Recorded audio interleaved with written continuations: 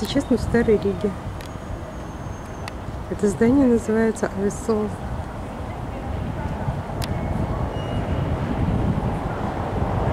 Здесь бывают концерты.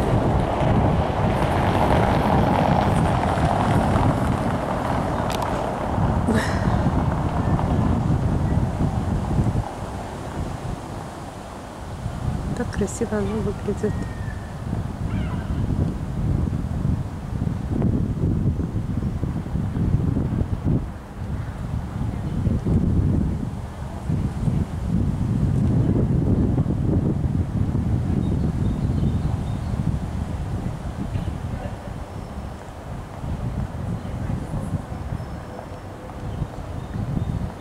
Сегодня здесь мероприятие.